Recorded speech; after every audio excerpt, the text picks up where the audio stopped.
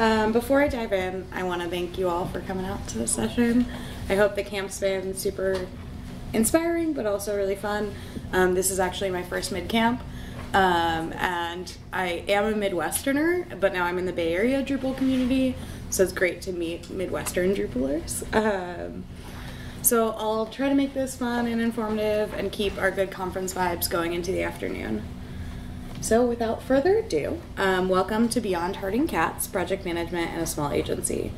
Um, whether you yourself are a project manager in a small agency, a PM in a big agency who's ma- managing a smaller team, maybe a freelancer who's project managing themselves, or a developer or designer who's trying to learn to live with a PM without hating them, um, hopefully this will be a good session for you. So, who in the room is a project manager? Who in the room is a developer? Lots of you. Who in the room is a designer?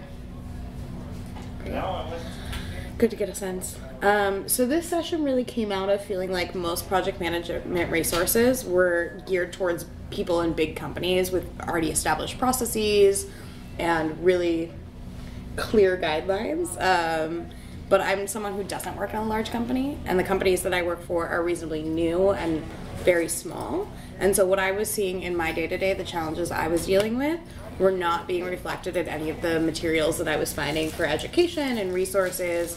Um, so, I decided to work on trying to create some resources out of those experiences, out of those times that we tried to implement new processes and failed, or the times that we were successful.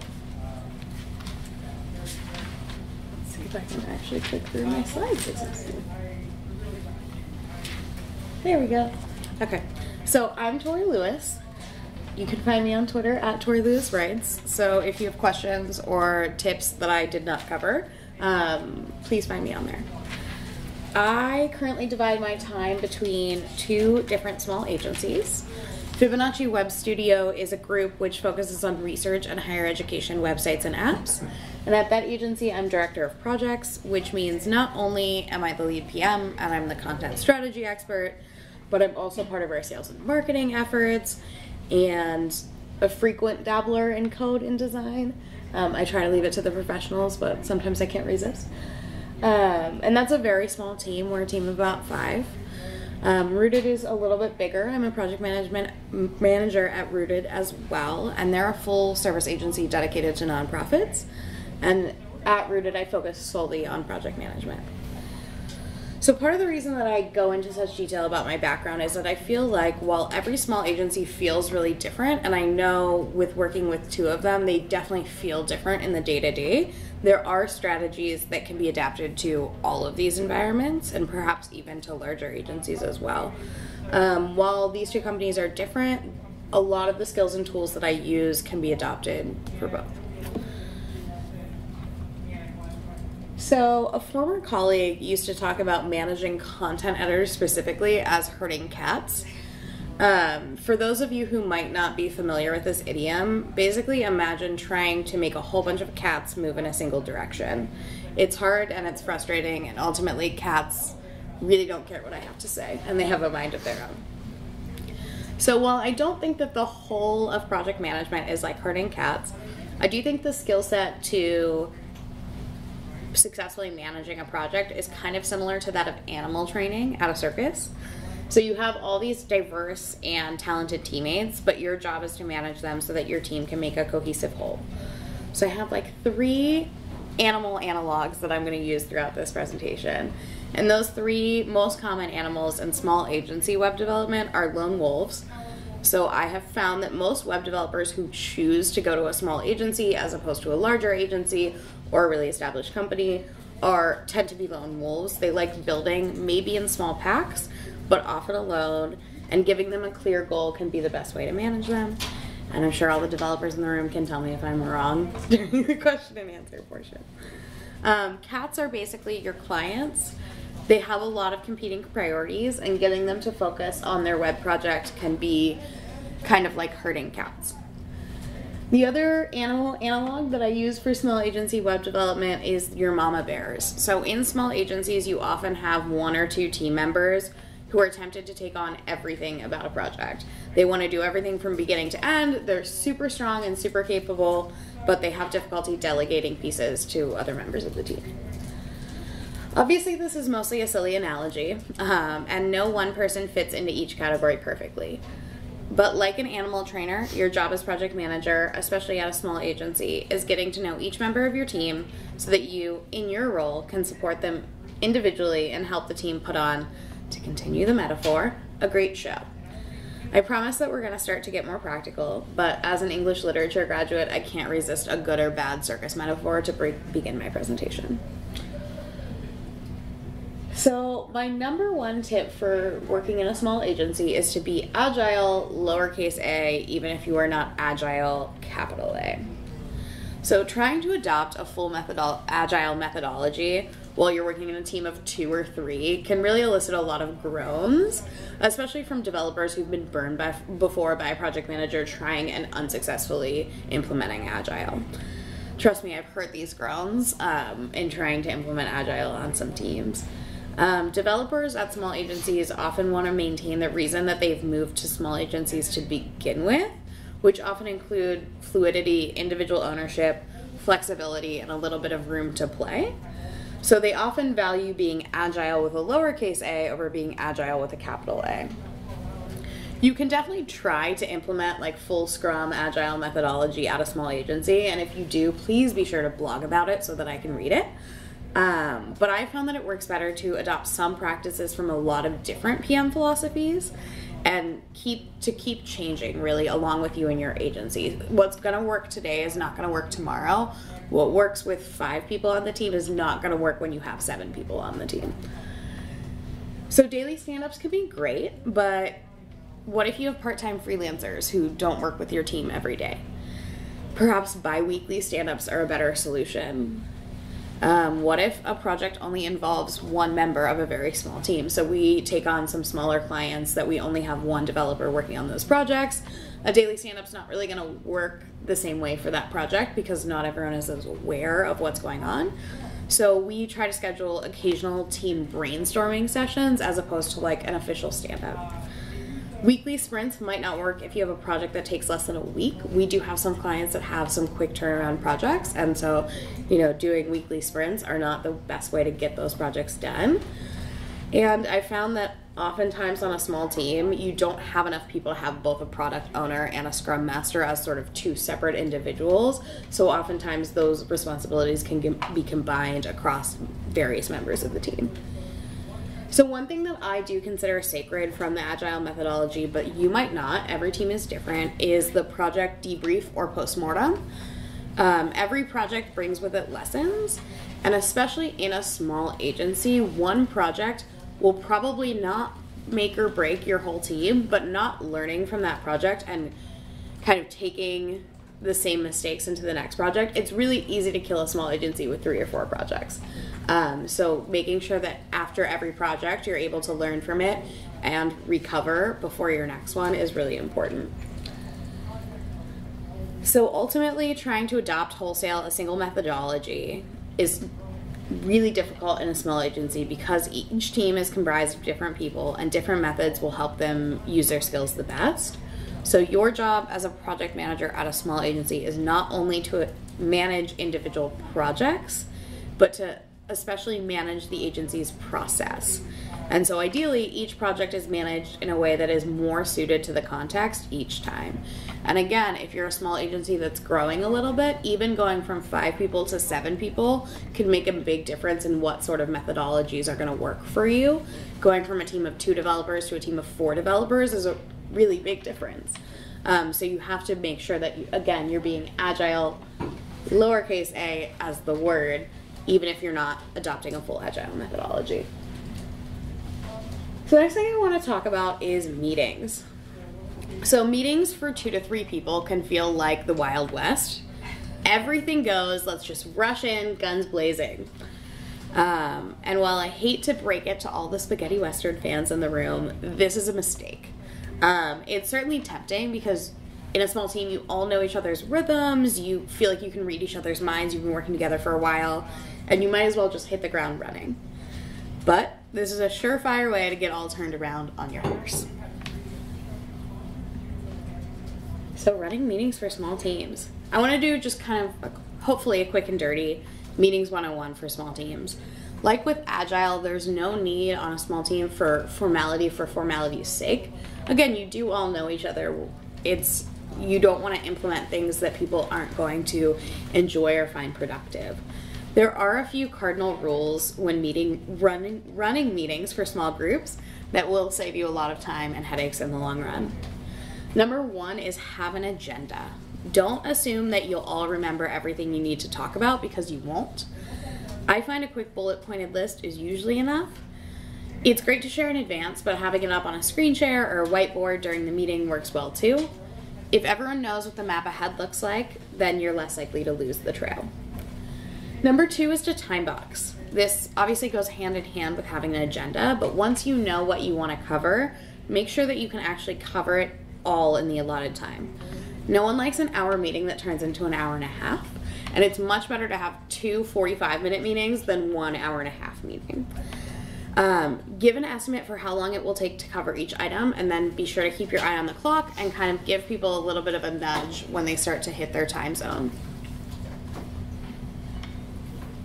The next tip is to take things offline. So, if you've ever worked in a corporate office, you might roll your eyes a little bit at can we take this discussion offline? Um, and while certainly it's a bit, little bit of a cliche, um, it can be a really helpful tool. So, the idea of taking things offline is basically the difference between a reply all and a reply on an email thread. So, let's do a little scenario where you're in a meeting with a designer, a PM, and two developers. You're all on the same project, you're all talking about the implementation of that design. Um, a good conversation to offline in this meeting is when your two developers start having a very highly technical discussion about an API. I personally, as someone who's managing the budget for this project, do not want to pay the designer for you all to have a 45 minute conversation about an API.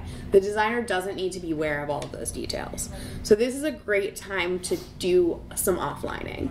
Um, now, I don't recommend actually saying, let's offline this, because people kind of have that visceral reaction, especially if they've worked in the corporate world before. So, hey, developer X and Y, it seems like this is a great thing to have a conversation in more depth about. Um, y, can you put it on your to do list to follow up with X about this later? Um, everyone's going to appreciate that you're respecting their time, and X and Y still get to have that conversation that's really important to them. The designer is going to really respect that they don't have to sit in on this conversation that they don't fully understand, and when you're looking at the budget later, you will thank yourself. The next tip is not to ignore the niceties.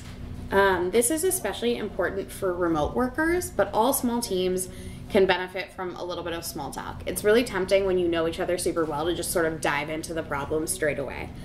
Um, but give yourself some breathing room at the beginning and the end of the meeting to catch up on your weekends, compare March Madness brackets, and brag and commiserate about non work exploits. Again, if you're doing the time boxing agenda method, you can just build in three to five minutes at the beginning, three to five minutes at the end to make sure that you can all sort of connect on a more human level. Fostering team morale is always important, and it's easy to ignore company culture when you're working with a small group, but a little bit of bonding during every meeting can go a long way. The next tip is that everyone should walk out of the meeting with a to do list. Every decision needs to be documented and acted upon. There are a couple different ways to do this. So each person can document their to do list individually and share out at the end of the meeting and ideally at the beginning of the next meeting. Alternatively, you as PM can take ownership of taking notes on all action items and sending out a group email after the check in. My personal favorite method is to use a project management software directly in the meeting. So on my teams, we use Asana, and I'll have that up during the meeting. And as we go through all of the different issues, we create and update the tasks in our system. So I, as PM, kind of take ownership of that, although people add their notes as we go. Um, we assign each one to a, a team member during the meeting, and we assign a due date again during the meeting. This means we're not adding any extra steps to our workflow. So you don't have to send out the follow up email. You don't have to make sure that you're including five minutes at the end for everyone to share out their to do list. It's very clear what's going on. and you're maintaining your up to date project tracker. So you're not only taking an extra step out of your day, but you're also making sure that you don't have to go back to that project tracker and follow up with everyone's to do items. And additionally, everyone can see what decisions are made. I don't have to email you to ask you for your to do list to see what you're doing. It's right there in Asana for me. Um, additionally, if someone on the team is not in the meeting, you can still assign tasks to them. If it becomes clear during a development meeting that there's a design task that needs to be done, you can still assign that. And I, ideally, you leave a helpful note saying if you have more questions on this design task, reach out to this developer with details or for more questions. So, what if you only have one developer on your team? So, we're talking small teams, but what if you're like a really small team? So, surprise, all of these things are still true if you only have one developer. It is still important to have regular one on one meetings between the PM and a sole developer on the project. It is still important to come in with an agenda and leave with a to do list. It is still important to be respectful of that single developer's time by time boxing and ensuring that follow up meetings are scheduled if specific items require more in depth detail. So, unlike when you're offlining with multiple people because you're concerned about one person, you know, getting distracted and not being invested in that conversation, um, in this case, offlining things is so that you can have a dedicated meeting about that issue and make sure that you still get all the items on your agenda done. Um, additionally, even if you have one developer, still spend some time sort of doing that casual chat, that small talk, um, so that you can keep your lone wolf happy and well prepared for the work ahead. Next tip I have is to love and live by your project management software. So, project management software is critical to keeping projects moving on schedule and on budget. Again, I think very highly of Asana. It's what we use on our team, but there are so many tools out there that trying to list them all would take me the rest of this session. Some of them are more geared towards enterprise solutions, and some of them are more geared towards small teams, and then there's a giant gamut in the middle of those two things. Um, so I like to think of PM software as the project manager's version of the text editor, in that everyone has their preference. There are a lot of options, and trying to convince someone who uses Basecamp to love Asana is better done over beers than in this session. So find me later if you want to have an argument about it. um, but whatever software you love, all of them are built around project tasks and deliverables to keep you on task. Um, it is critical to use them intentionally and thoughtfully to ensure your project's success. I don't know if you've ever started on a new team or come back after a vacation and you see that your project management software is just a mess of like overdue items that no one's looked at in three months, and there's a bunch of stuff in there that no one really understands when it got entered and why. Um, we want to avoid that. Um, and in order to do that, you have to be really intentional about how you're using the tracker. So, no matter what tool you use, I have some tips to help you try to get the most out of it. So, one is that you need to be aware that notifications are very customizable. So, this is both a good and a bad thing. So, maybe on a development task, I want to know every single thing that happens. I'm managing that developer very closely. But maybe on a design task, I only care if someone mentions me. I only want to know when the design task is finished. I don't need to be involved in the ins and outs. So I can make that work for me. I can set up those notifications on a task by task basis. But if I have a mama bear tendency coworker, they can get notified anytime anyone does anything. So even if the task has nothing to do with them, they can still get a notification so they know everything that's going on at all times. So that's great. Um, it's great that it's so customizable for individual wants and needs. But because everyone can set their individual notification preferences, you can't be entirely sure that people are seeing what's happening um, unless you are intentional about it. So you need to get to know your team's flow. You need to know who's using Asana or your project management. And I will use Asana as my default word, but you can feel free to translate that in your own head. Um, so you need to know who's using Asana in what way. You need to know if someone's checking it every morning, if they're checking it every evening, if they're only checking it when they get emails, and what those notification structures are like. You also need to follow up on Asana tasks in person or on your next phone call, especially if you have someone that isn't fully invested in that project management structure. Um, I also like to use Asana during meetings so that it's very clear what my expectations are in terms of Asana. So I like to make sure that it's pulled up on everyone's screens, that everyone can see what I'm seeing, that we know where the details of each task are living. Um, basically, I want to teach my team to use Asana as the central source of truth on a project. So if anything comes into me via email from a colleague or from a client, I make sure to update the Asana instance right away. Email is not the source of truth. Asana is the most up to date version of all information. So, two, if you don't have someone monitoring and cleaning up your instance often, it can quickly become an overload of information. I've seen everything from people creating duplicate tasks for the same issue to trying to build an entire admin interface in a single task in Asana. Um, so, setting norms and enforcing them is critical to using the software effectively, and so is regular cleaning. You need to set aside time to review your team's entire instance and clean up things as needed. Again, this is where the like three month overdue tasks come into play, where you can actually have a meeting with your team and say, okay, so this is some cleanup task that we set up three months ago. Is this actually a priority for us? How can we make it actually happen as opposed to just pushing back that deadline for three months? Um, you can and should include relevant files and links in your Asana system and sync to your Dropbox and Google Drive. You want to ensure that everyone has access to everything so that they can actually do their jobs and that they once they see something in Asana that they can kind of run with it. You can also integrate your project management tool with your time tracking tool. I recommend if you're already using a time tracker and you're looking into a new software for project management or vice versa, that you see what tools can integrate well together. Um, this is super super helpful with a small team because I know a lot of people um, look at Slack or email and forget to bill that time to the client. Um, so if you're communicating with your team about a specific task in your project management system, you can make sure that that time gets tracked so that everyone gets compensated appropriately and all the time gets tracked and billed. quick time check, which is that I'm running quickly out of time. um, but I want to talk communication. So communicate often and well.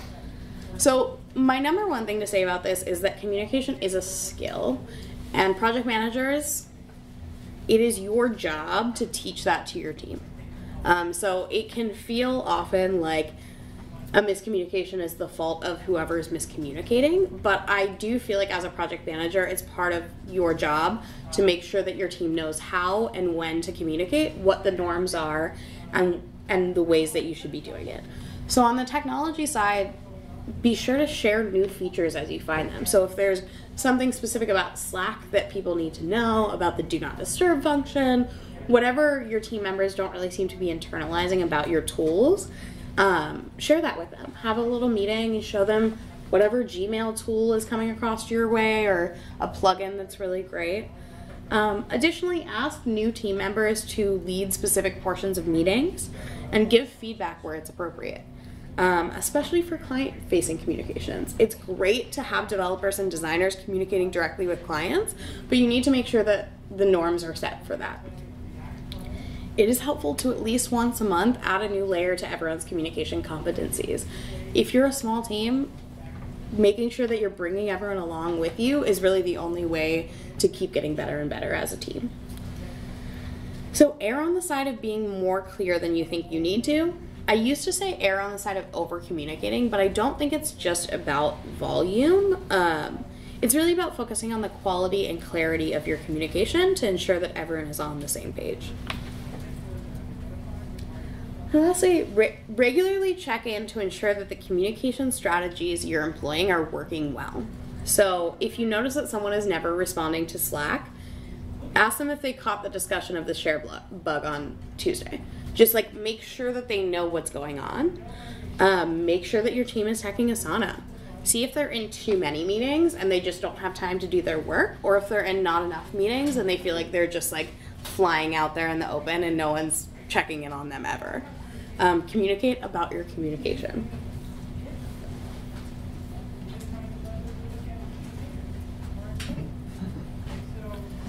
Um, An often overlooked aspect of project management is a positive and productive team culture. And of course, I have about five minutes left, so I'm almost going to overlook it in this talk, but I'm going to try to get there. Um, so, for small agencies, team culture can basically equal company culture. Um, well, you're not the sole source as project manager of team culture, you do play an important role in ensuring that company culture is maintained throughout the project lifecycle. So allow flexibility, but make sure that your team members understand the limits of the flexibility.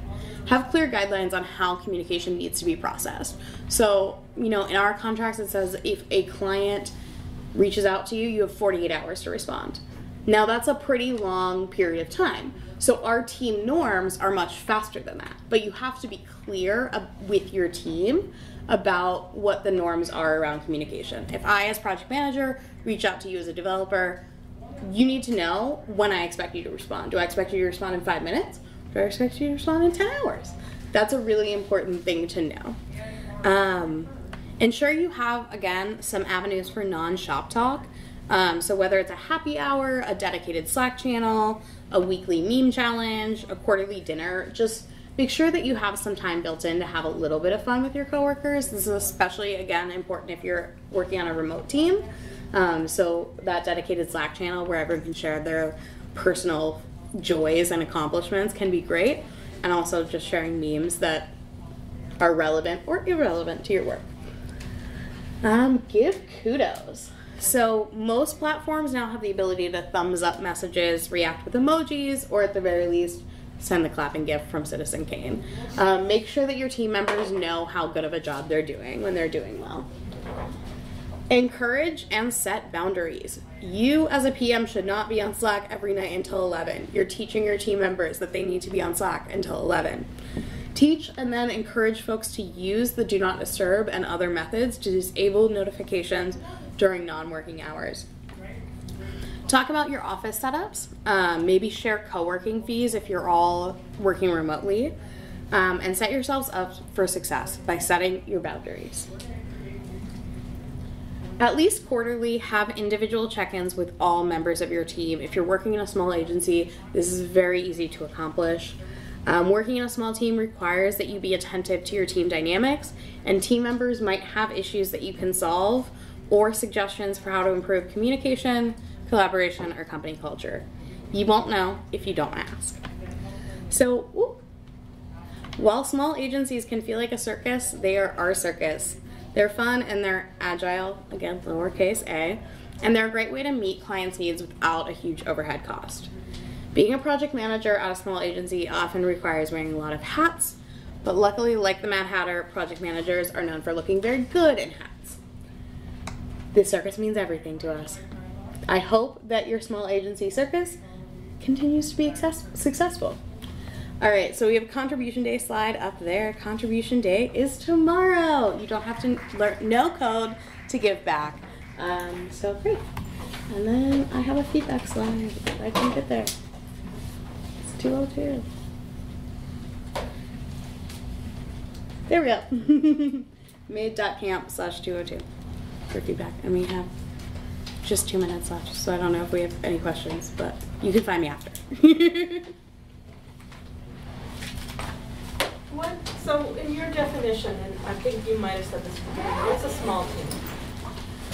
I think it depends. Mm-hmm. You know, if you've worked in a big agency before where you have like 200 people, 50 people can be like a small team. So it's relative. It, I definitely think it's relative. I do think that once you get over 20, there starts to be sort of more processes that need to be more formalized. But once you, when you're under 20, you can really be agile and quick on your feet.